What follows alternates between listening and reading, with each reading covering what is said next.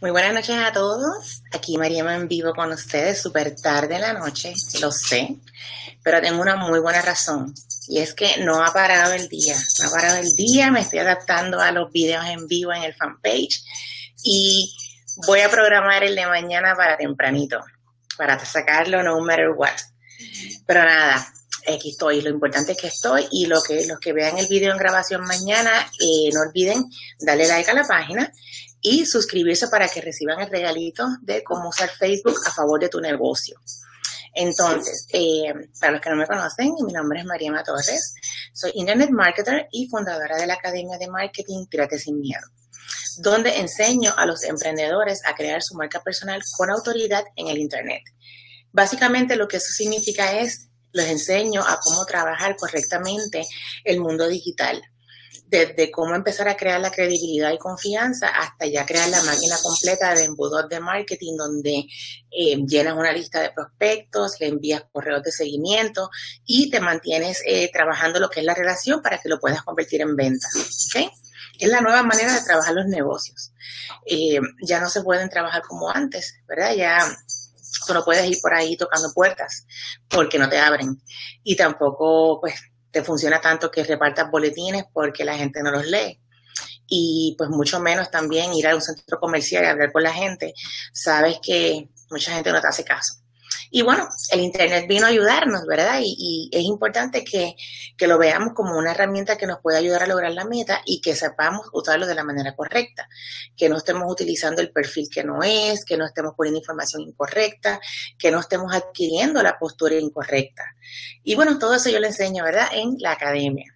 Poco a poco, ¿verdad? En los videos en vivo que hago aquí, trato de compartir un tema que quizás no sea tan técnico como lo que es la creación de un blog, pero sí quiero que vean los pasos que tú necesitas para poder llegar a lograr tus metas, ¿verdad? Porque no solamente es la motivación, tú necesitas también otra serie de actitudes y de comportamientos para que eso ocurra. Entonces, de la que yo te quiero hablar hoy es una de las características que creo que más nos ataca a todos nosotros los emprendedores, que es la de creer en uno mismo. ¿Verdad? Como a, veces nosotros mismos nos eh, autocondicionamos la mente para pensar que no sirvo para esto, yo no soy tecnológico, o yo no soy bueno haciendo videos, o yo no soy bueno escribiendo. Y realmente eso es una, sin darte cuenta, tú te estás autosaboteando y estás preprogramándote para que no funcione. Y yo he visto casos donde personas que llegan sin saber nada terminan siendo unos marketers espectaculares. He visto de todo. Y he visto personas que han llegado con experiencia y les cuesta un poco más desarrollar otras áreas. O sea que date la oportunidad. Date la oportunidad de poder experimentar lo que es cada área y una vez tú encuentres el área que te gusta, si te gusta hacer videos, pues mira, por ahí te vas, por esa área. Si te gusta escribir, pues por ahí te vas sí te recomiendo que empieces a pulirte en lo que es hacer videos porque eh, es lo nuevo que viene a, apoderarse del marketing. Si no tienes contenido en videos, eh, te estás limitando, estás, estás dejando mucho dinero en la mesa. ¿Cómo creo videos? ¿Qué hago? ¿De qué hablo? Pues mira, todo eso va a estar basado en la necesidad de tu audiencia. ¿ves? Eh, o cómo creo artículos, cómo creo contenido, cómo creo contenido para el fanpage, ¿verdad? Esa página de negocios. Eh, tengo mi fanpage, pero no sé trabajarla, no sé qué escribir, no sé qué decir. El contenido que vas a crear está basado estrictamente en lo que tu audiencia necesita. Si tu audiencia eh, está necesitada de cómo hacer una lista, pues vas a crear contenido de cómo se hace una lista. Si tu audiencia está necesitada de cómo prospectar sin levantar el teléfono, creas artículos de ese tema. ¿Ves? Busca las necesidades de tu audiencia y en base a eso creas contenido. Tu contenido debe ser entretenido, debe ser interesante, debe ser eh, llamativo para tu audiencia. Recuerda que esa audiencia es un mercado frío. Y si tú te pones a hablar cosas que no sean muy entretenidas o que no resuelvan el problema de tu audiencia, te van a quitar se van a quitar porque nadie está escuchando un video por hacerle un favor a alguien. Todos están buscando cómo yo puedo solucionar un problema que yo tengo, cómo yo puedo satisfacer una necesidad. Así que trata de mantenerte en esa línea. Te quiero hablar de esta característica porque yo entiendo que es una de las características que más está azotando a, nosotros los emprendedores, el, el pensamiento limitante de que yo no puedo, de que la tecnología es difícil, de que tengo 60 años y no voy a poder hacerlo, o yo no nací en esta época.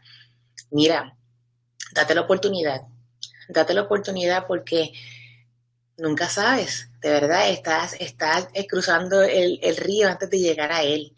Y te digo honestamente, no es difícil, no es difícil. Y si tú no desarrollas esta área, no vas a poder levantar tu negocio de la manera que tú quieres hacerlo, porque como te digo, cada vez está más difícil el hablar con las personas.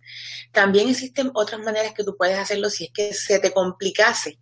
Existen otras maneras de hacerlo. El punto que te quiero llevar es que no puedes perder la consistencia, no puedes perder la perseverancia de querer llevar el mensaje a tanto a través de tu canal de YouTube como de tu fanpage como de tu blog, porque si tú paras de crear contenido y paras de mover esa máquina, se te va a congelar el negocio. Nadie te va a conocer. ¿Cómo vamos a querer venderle a alguien que no nos conoce?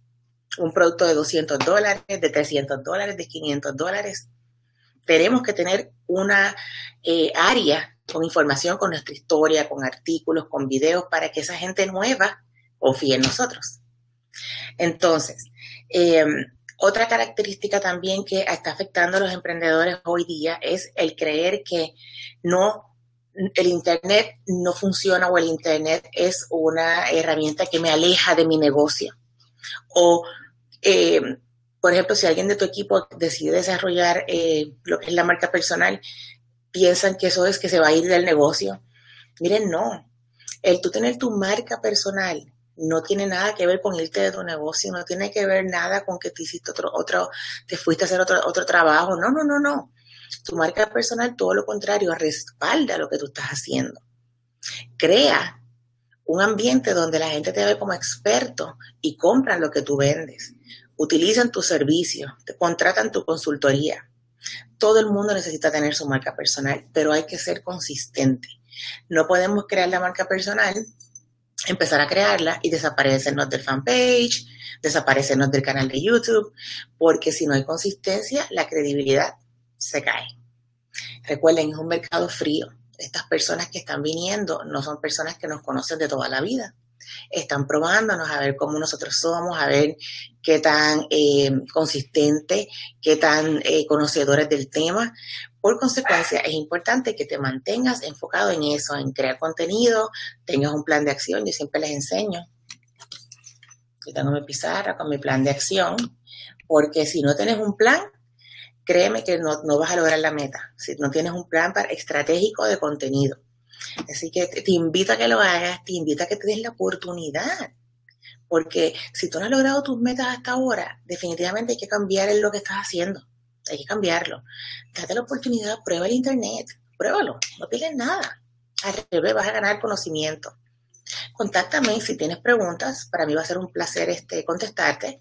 Y estén pendientes a la página, porque voy a estar anunciando los videos en vivo de lunes a viernes, siempre va a haber uno. Y bueno, eh, saben que detrás del miedo está el éxito. Hay que tirarse, hay que tirarse, hay que hacerlo, hay que ser consistente, hay que ser perseverante, porque a la larga vas a lograr la meta, pero sin esas características va a ser muy difícil que lo hagas. Así que te invito a que te des la oportunidad y trates, ¿verdad?, estos consejos que te he dado y me traigas tus preguntas durante la semana, ¿ok?